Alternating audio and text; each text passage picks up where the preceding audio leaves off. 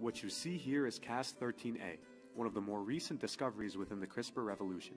This Cas protein has many remarkable and unique aspects which distinguish it from other Cas systems, and it give it promising roles in the molecular biologist's toolbox. These will be discussed later on, but first, what is CRISPR? The CRISPR-Cas system is a form of adaptive immunity in bacteria. CRISPR, which stands for clustered, regularly interspaced, short palindromic repeats, refers to repetitive DNA sequences that were discovered in bacterial DNA. These repetitive sequences were found to have viral genome snippets, or spacers, between them. It is now known that these spacers are used by Cas, or CRISPR associated, proteins to specifically target invading viral genomes. The system works as such. A virus, such as a bacteriophage sown, infects the bacterial cell with its genome. Specific Cas proteins are then able to derive a new spacer from the viral genome.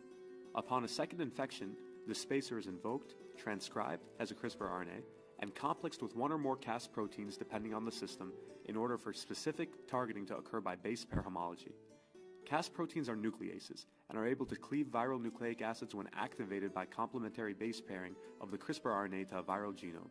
This adaptive immunity grants bacteria protection from what otherwise would be, well, let's just say disastrous for the bacterial cell.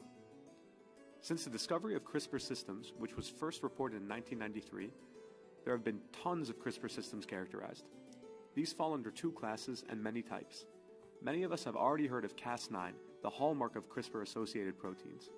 The discovery of this protein as a genome editing tool caused an explosion of publicity and publications, all which highlight the robust ability of this protein to cause double stranded breaks in specific sequences of DNA.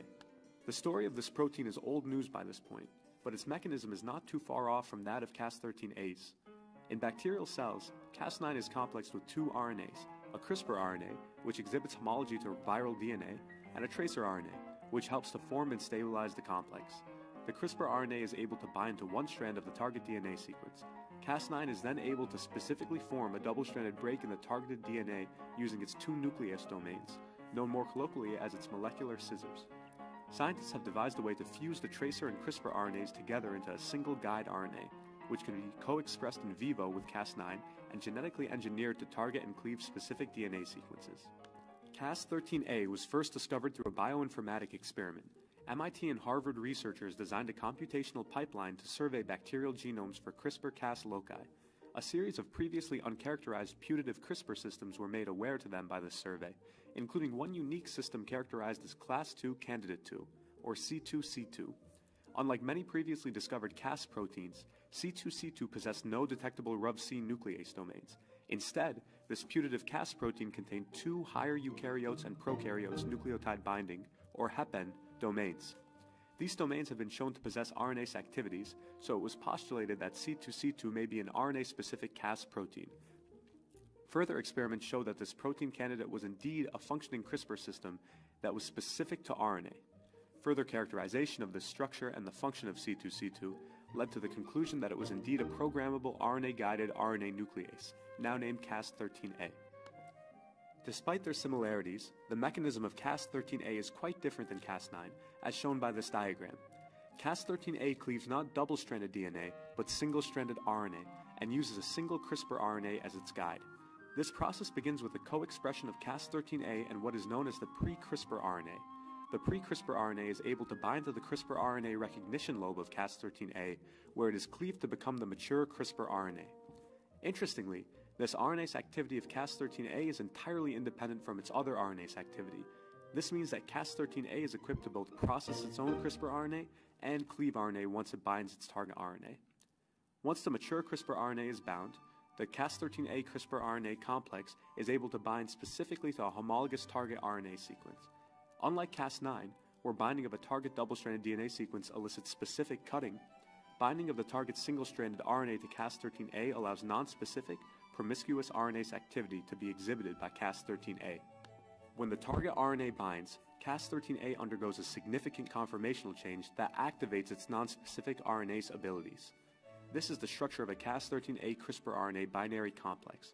Once the target RNA is bound, significant conformational changes result in the formation of a catalytic active site. Specifically, the hepan-1 domain moves towards the hepan-2 domain, placing catalytic histidine and arginine residues into contact. Because this catalytic site is exposed and not internal like the catalytic site of Cas9, Cas13a is able to cleave free single-stranded RNA in solution and function as a non-specific RNase. One can imagine that the RNase ability of Cas13a could be harnessed as a powerful RNA detection tool. Researchers at MIT and Harvard made this vision a reality by devising the nucleic acid detection system they call Specific High Sensitivity Enzymatic Reporter Unlocking, or SHERLOC.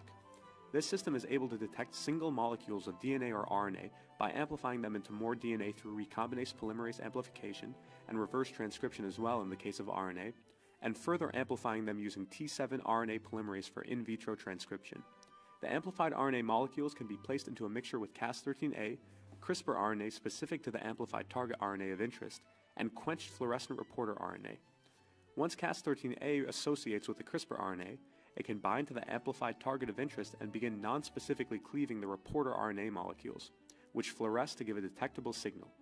This method of nucleic acid detection can be used for attomolar sensitivity detection of viruses such as Zika and dengue. The materials for such a test could be procured for only 61 cents, making this application of Cas13a an exciting new discovery for medical purposes.